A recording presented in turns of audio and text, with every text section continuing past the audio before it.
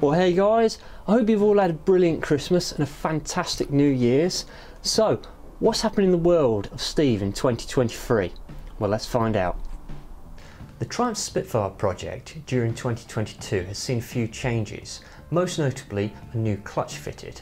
Many thanks to David Manners Group for supplying this, however I was unable to film it due to time constraints.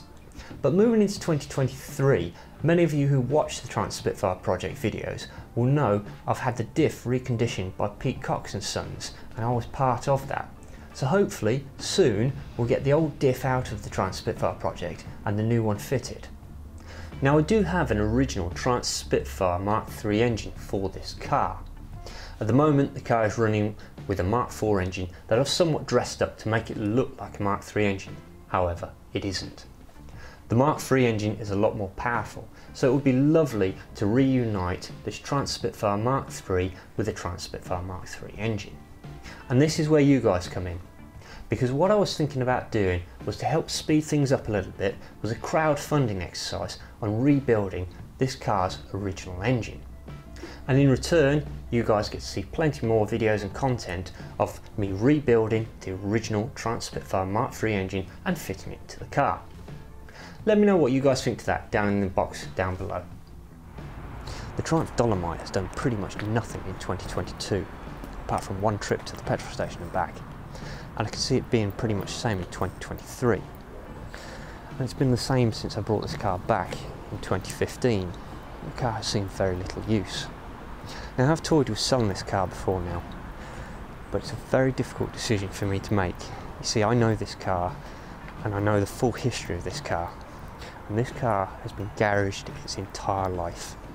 It's a 40,000 mile original car from new. The interior is completely unmolested. It has never ever been restored. You can't make up history like that. Not only that, I've got a very personal connection to this car. This was my second classic car and I sold it many years ago. It took me seven years to trace it down and buy it back and since 2015 it is pretty much sat underneath the cover. It's had a little bit done here and there but not much and it's just sat under a cover in the garage collecting dust. So it does almost seem like a waste of owning a classic car but every time I take it out of the garage just memories of this car just come back and I just I can't sell it. It's a very difficult decision. However, I may be forced into a position where I may have to or do something with it as I'm losing my garage space. I don't know. It may have to live underneath cover for a little while until I decide what to do with it. Danny's GT6 Mark 1 project has seen very little change in 2022, apart from the addition of the front and rear number plates. Now these are actually the correct number plates for this car, so it is now legal with the DVLA, but of course not legal for the road, it needs a hell of a lot of restoration before that can happen. But Danny has actually brought for this car now a new Clutch Master slave cylinder. Cheap items, I know.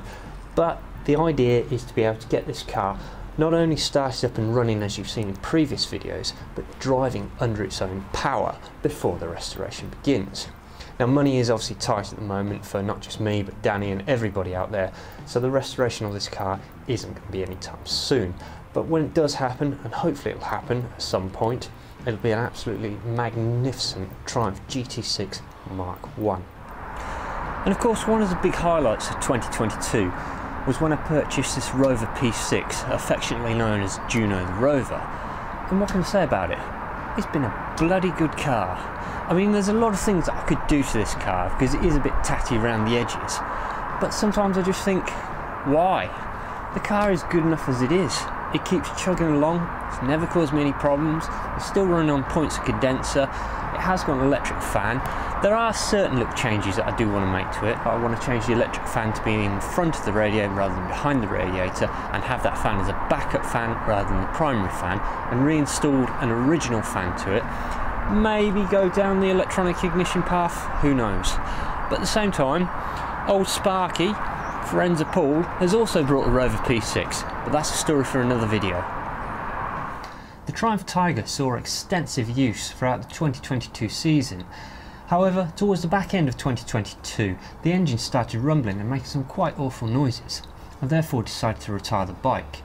At the start of the 2023 season, I intend to take out the engine and investigate further what this actual rumbling is inside the engine.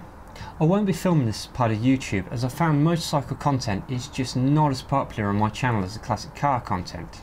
However, if you guys do want to see a bit more motorcycle content, please let me know in the comments box down below. And finally, the Triumph TR6, which during the 2022 season performed absolutely faultlessly. And going into 2023, I intend on doing much the same as 2022, getting out there and enjoying this car for what it is and meeting up with as many of you guys as I can during shows and events. So as always guys, don't forget to like, comment and subscribe and I'll see you guys in the next video. Take care.